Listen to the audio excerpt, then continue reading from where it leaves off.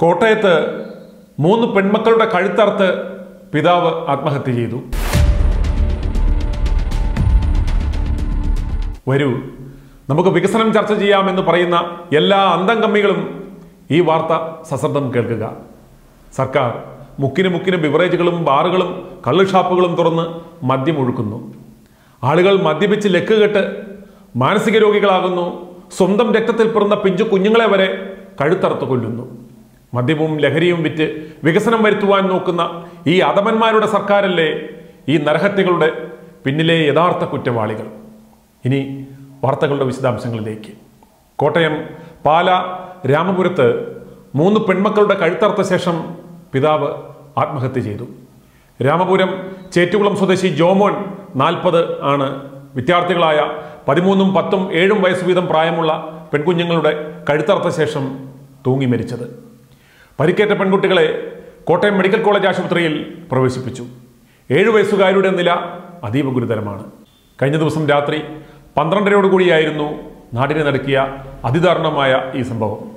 മദ്യലഹരിയിലായിരുന്നു പ്രതി അക്രമം നടത്തിയതെന്നാണ് പോലീസ് ഭാഷ്യം.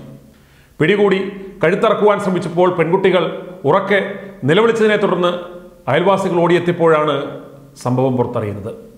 രാമപുരം പോലീസ് സ്ഥലത്തെത്തിയപ്പോഴേക്കും ഇയാളെ തൂങ്ങി മരിച്ച നിലയിൽ കാണുകയായിരുന്നു.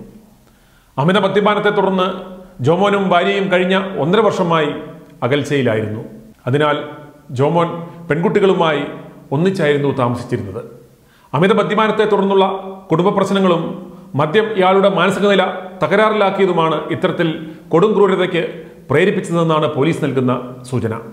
നാളെ തിരഞ്ഞെടുപ്പ് നടക്കുന്ന പുതുപ്പള്ളി മണ്ഡലത്തിന് സമീപമുള്ള പ്രദേശമാണ് ഈ രാമപുരം. ഉമ്മൻചാണ്ടി ഉണ്ടായിരുന്നപ്പോൾ പൂട്ടിയ ബാറുകളുടെ നാലിരട്ടി എൽ ഡി എഫ് സർക്കാർ തുറന്നു.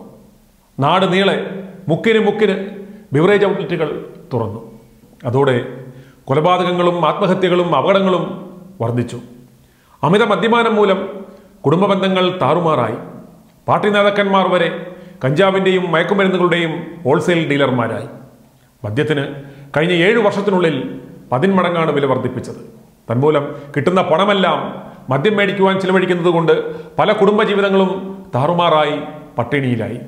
ഈ മദ്യക്കച്ചവടത്തിലൂടെ കിട്ടുന്ന പണം കൊണ്ടാണ് ഈ സർക്കാർ ഇന്ന് നിത്യച്ചെലവുകൾ നടത്തിക്കൊണ്ടു പോകുന്നത് എന്ന് നാം മനസ്സിലാക്കണം.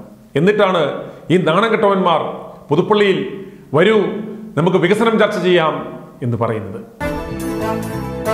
Eye truth. Eye to Eye News subscribe ചെയ്തിട്ടില്ലാത്തവർ ഇപ്പോൾ തന്നെ സബ്സ്ക്രൈബ് ചെയ്യുക. നോട്ടിഫിക്കേഷൻ ലഭിക്കുവാൻ ബെൽ ബട്ടണും അമർത്തുക.